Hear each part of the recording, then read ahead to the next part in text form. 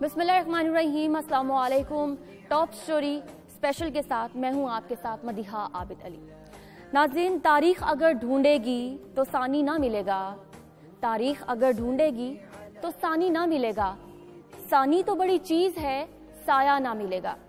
آج تمام مسلمانوں کو آپ صلی اللہ علیہ وآلہ وسلم کی پیدائش کا دن بہت بہت مبارک ہو۔ آج ہم جامعہ نعمیہ میں موجود ہیں۔ ہم آج کے دن کی اہمیت کیا ہے اس کو بیان کریں گے۔ ہمارے ساتھ بڑے بڑے عالم دین ہیں اور عالم دین ان کی صحبت میں رہنے والے یہ نوجوان ہیں جو مذہبی تعلیم حاصل کرتے ہیں۔ آج ان سے سیکھنے کا موقع ملے گا اور ہمارے پلیٹ فارم کے توسط سے ہمارے دیکھنے والے بھی جان سکیں گے کہ آج کے دن کی اہمیت کیا ہے۔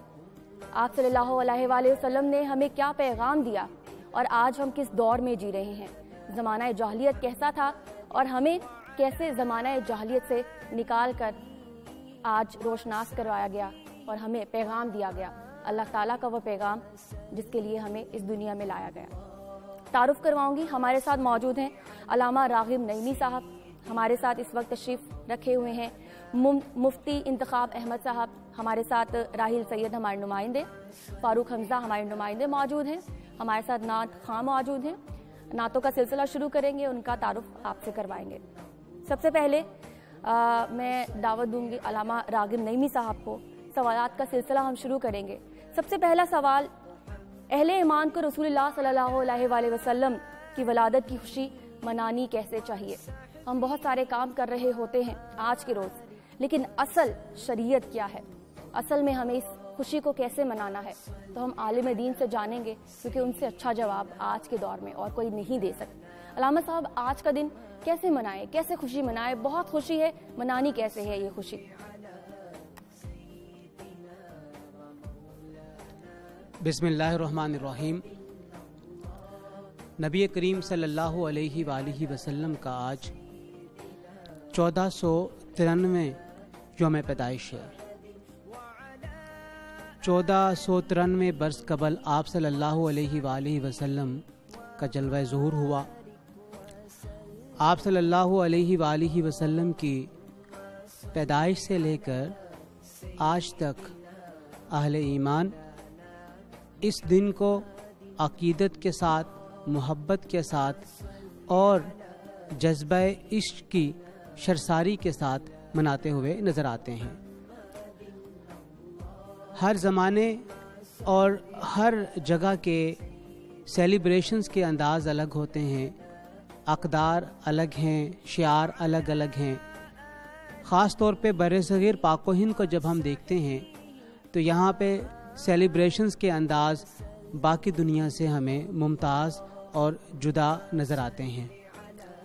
نبی کریم صلی اللہ علیہ وآلہ وسلم کے دور مبارک میں اس سیلیبریشن کا اظہار صحابہ کرام، آپ کی آمد پر آپ کی تعریف اور توصیف کے گنگا کے کیا کرتے تھے۔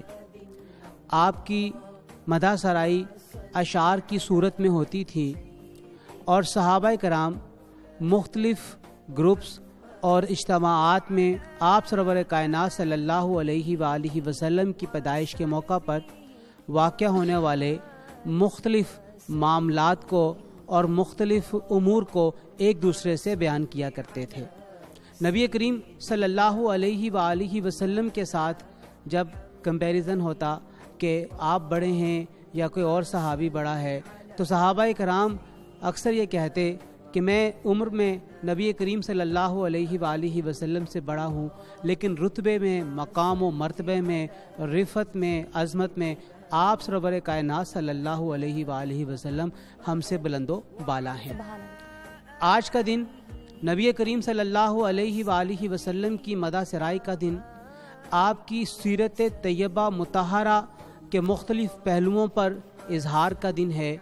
آپ صلی اللہ علیہ وآلہ وسلم کی زندگی کے مختلف واقعات کو بیان کرنے کا دن ہے۔ آپ صلی اللہ علیہ وآلہ وسلم کے ان مصائب تکالیف اور شدائت کا تذکرہ کا دن ہے جو آپ نے تبلیغ دین کے سلسلے میں برداشت کی۔ نہ صرف برداشت کی، بلکہ خندہ پیشانی سے انہیں ان کا سامنا کیا اور اپنے موقف اور اس دین کی تبلیغ میں ڈٹے رہے، جس کے لیے اللہ وحدہ لا شریک نے آپ کو منتخب فرمایا تھا۔ آج کا دن ہے، آپ صلی اللہ علیہ وآلہ وسلم کی مدا سرائی اشعار کی صورت میں، نثر کی صورت میں۔ اور پھر اپنی ثقافت کے اعتبار سے سیلیبریشنز کے مختلف انداز اختیار کیے جاتے ہیں۔ اور اس کے ذیل میں میں ایک قاعدہ بیان کرنا چاہوں گا۔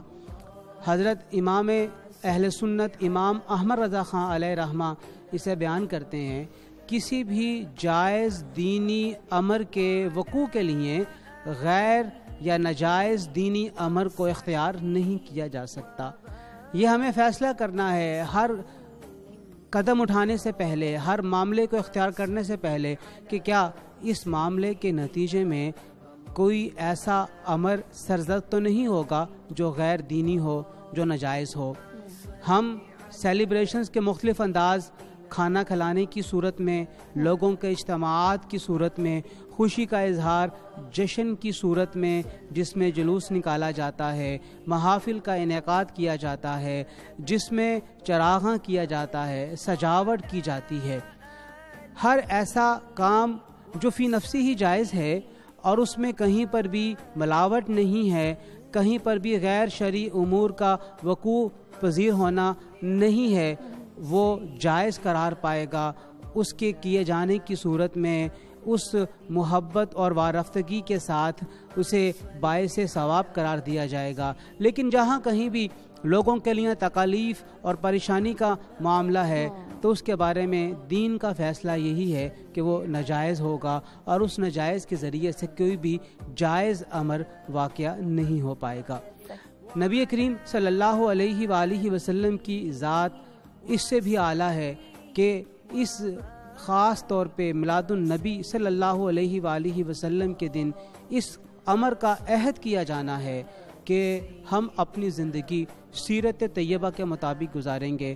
ہم اپنی زندگی کے ایک ایک پہلو کو اس طرح بسر کرنے کی کوشش کریں گے جس طرح نبی کریم صلی اللہ علیہ وآلہ وسلم نے بسر کی یا اس کے بارے میں حکم دیا۔ بہت خوبصورت طریقے سے علامہ صاحب نے تمام چیزیں ہمیں بیان کی ہیں، بالخصوص ان لوگوں کے لیے جنہیں سمجھنا بہت ضروری ہے۔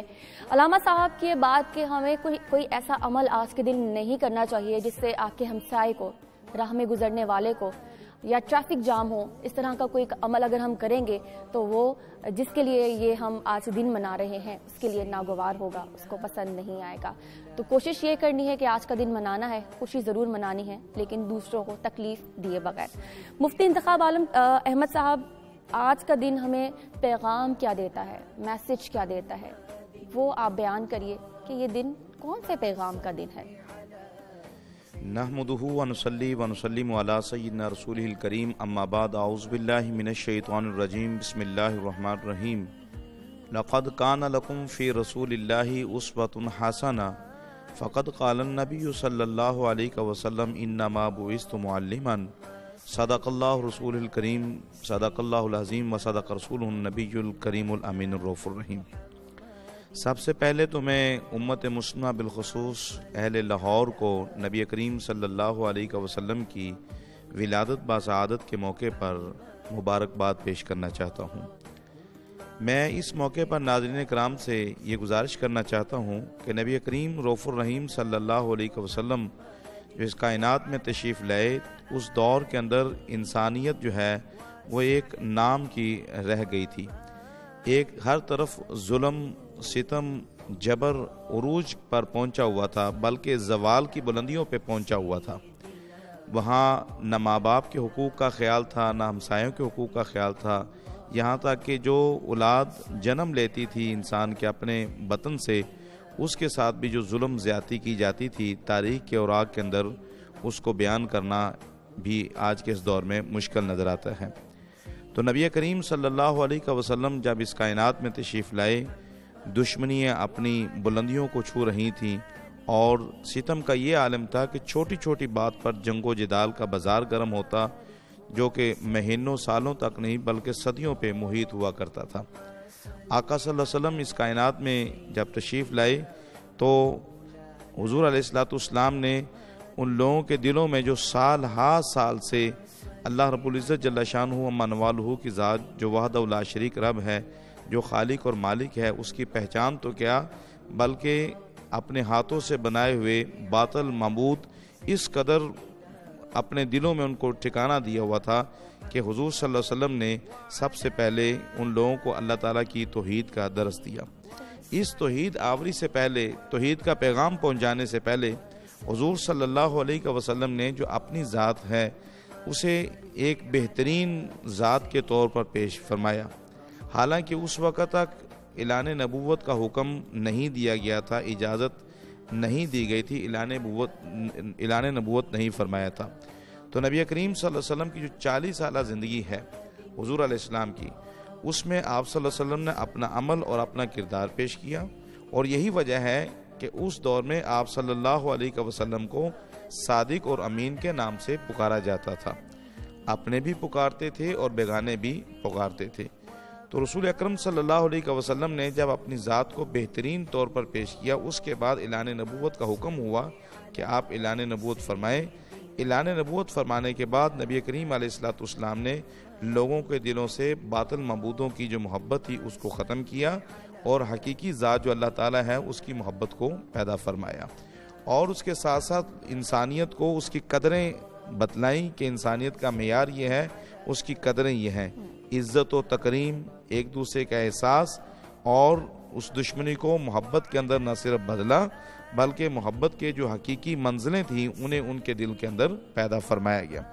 قرآن عزیز نے ارشاد، اللہ پاک نے ارشاد فرمایا، تمہارے لیے رسول اللہ صلی اللہ علیہ وسلم کی ذات بہترین نمونہ ہے۔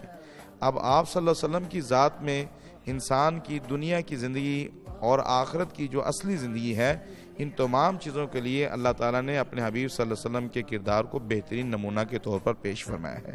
اس میں ایک اچھے ماں باپ کا کردار بھی ہے، اچھی اولاد کا کردار بھی ہے، اچھے ایک بھائی کا کردار بھی ہے اور اچھے دوست کا کردار بھی ہے اور اپنے ہمسایوں کے ساتھ جو محبت رواداری سے پیش آنا، اس کا بھی اپنے محلے کے ساتھ، اپنے شہر کے ساتھ، اپنے اسلامی بھائی کے ساتھ اور اپنے جو غیر اسلامی اقلیتی لوگ ہیں یا غیر اسلامی لوگ ہیں، ان کے ساتھ ایک انسان کا، مسلمان کا کیسے رویہ ہونا چاہیے؟ ان تمام چیزوں کو آقا صلی اللہ علیہ وسلم نے بیان فرمایا۔ تو میں اس موقع پر آج کا جو دن ہے، بالخصوص ہمارے لیے اس قدر بھی بڑی اہمیت رکھتا ہے کہ جس دور میں ہم مسلمان تو کہلاتے ہیں، مگر دین اسلام کے ساتھ ہمارا جتنا تعلق و رشتہ ہے وہ ایک نام کا نظر آتا ہے۔ اس موقع پر ہمیں رسول اکرم صلی اللہ علیہ وسلم کی جو تعلیمات ہیں، جن تعلیمات کو لے کر نبی کریم صلی اللہ علیہ وسلم نے عرصہ تیئیس سالہ زندگی میں دنیا کے کونے کونے پر اللہ تعالیٰ کی وحدانیت کا پیغام پہنچایا اور دین حق کی جو پہچان ہے، اس کو عام فرمایا۔ ہمیں چاہیے کہ ہم رسول اکرم صلی اللہ علیہ وسلم کی سیرت طیبہ سے نہ صرف خود سرفراز ہوں، بلکہ اپنے جو اہل و عیال ہیں اپنے بیوی بچے ہیں اپنے زیر کفالت بہن بھائی ہیں، یا اپنے والدین ہیں، یا اپنے عز و قارب دوست احباب ہیں، یا اپنے متعلقہ جو لوگ ہیں، انہیں رسول اکرم صلی اللہ علیہ وسلم کی جو سیرت طیبہ ہے اس کا نہ صرف درس دیں، بلکہ خود سب سے پہلے اس پر عمل کریں اور پھر عمل کی تلقین کریں۔ تو اس موقع پر ہمیں چاہیے کہ آج کا جو دن اس لیے بھی ہمارے لیے اہمیت کا حامل ہے کہ وطن پاکستان میں جو ان دنوں میں ایک بہت عجیب و غریب کیفیت میں پاکستانی قوم جو ہے وہ اپنی زندگی کو گزار رہی ہے۔ اس موقع پر ہمارے لیے رسول اکرم صلی اللہ علیہ وسلم کی زندگی میں بھی بہترین عملی طور پر نمونہ نمونہ جو ہے عملی طور پر موجود ہے۔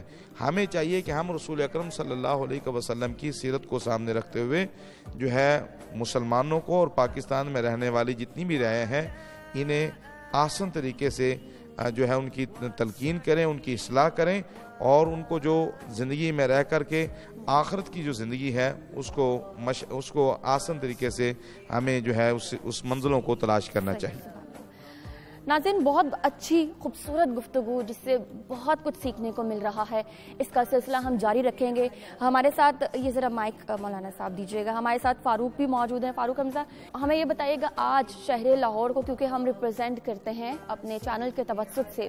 شہر لاہور نے، آج کا یہ حسین دن کس طرح سے منایا؟ کیا گہما گہمی رہی؟ ذرا بیان کریے جی نبی پاک صلی اللہ علیہ وآلہ وسلم کی ولادت باسادت کا دن ہے اور اس سے ہر امتی کو جو ہے وہ خوشی ہوگی کیونکہ اس دن نبی مہربان دنیا میں تشریف لائے تھے۔ اس دن فرشتوں نے بھی خوشی منائی تھی اور اسی طرح بالکل شہر لاہور میں جو ہے سما خوشی کا چھایا ہوا ہے۔ ہر طرف آئے آئے نبی، آئے مرحبا مرحبا۔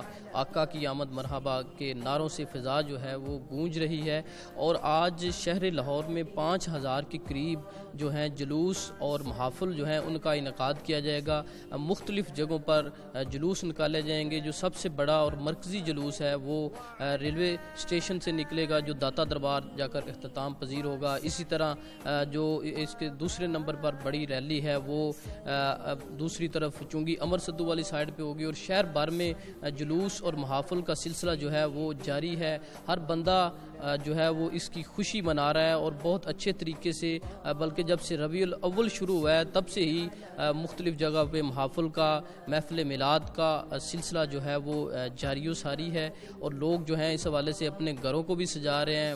خود جاتا رہا ہوں، دیکھتے رہے ہم مختلف مارکیٹ سے، جہاں سے زیادہ تر سامان خریدا جا رہا ہے، جن میں سے ایک اردو بازار کے قریب جو گمپت روڈ ہے وہاں سے روزانہ کی بنیاد پر لاکھوں روپے کا سجاوٹی سامان جو ہے اس کے ساتھ ساتھ نقش نالین پاک اور روزہ رسول اور خانہ کعبہ کے جو ماڈلز ہیں وہ خرید کر لوگ لے جا رہے تھے جن کا مساجد میں انہوں نے رکھے ہیں مختلف بازار سے جائے گئے ہیں ٹھیک ہے۔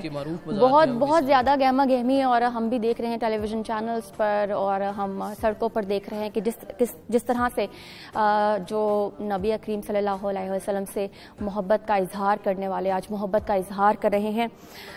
ناظرین، یہاں پہ مجھے چھوٹی سی بریک لینی ہے اور اس بندہ ناچیز نے ایک چھوٹا سا نظرانہ اس بڑی ہستی کے لیے رکھا ہے نعت کی صورت میں۔ یہ نعت اور اس کے بعد ایک بریک لیں گے اور بریک کے بعد تمام دوسرے لوگوں کو بھی ہم شامل گفتگو کریں گے۔ بنے ہیں دو نو جہاں شاہ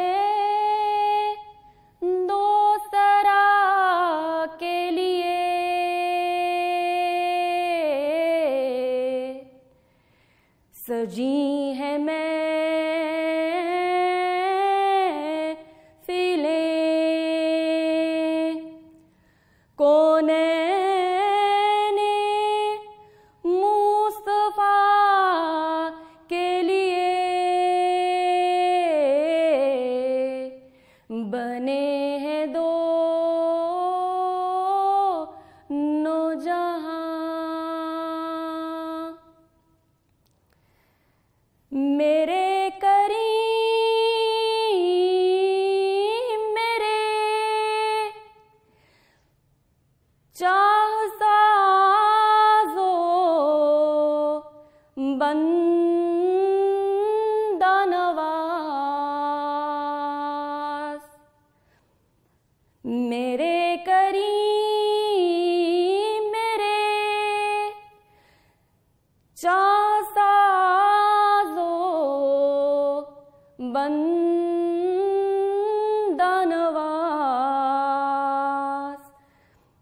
تڑپ رہا ہوں تیرے شہر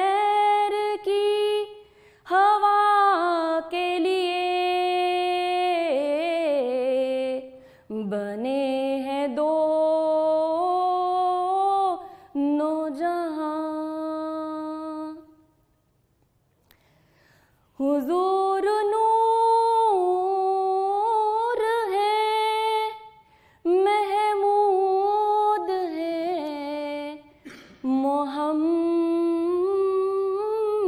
ہیں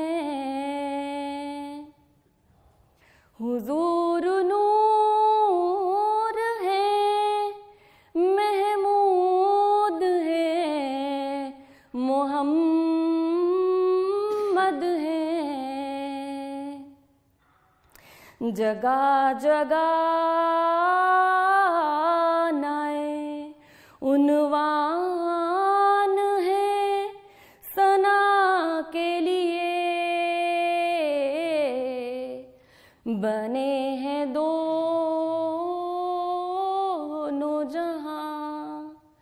شاہ دو سرا کے لیے سجی